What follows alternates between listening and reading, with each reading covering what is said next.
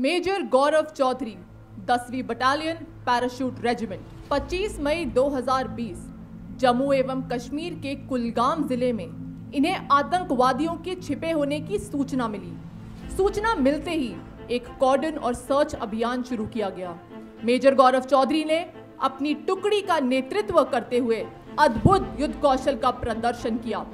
भारी गोलीबारी के बीच इन्होंने भागते हुए दो आतंकवादियों को अत्यंत चुनौतीपूर्ण परिस्थितियों में मार गिराया। इस अदम्य साहस व अनुकरणीय वीरता के लिए आपको सेना मेडल वीरता से सम्मानित किया जाता है। मेजर गौरव चौधरी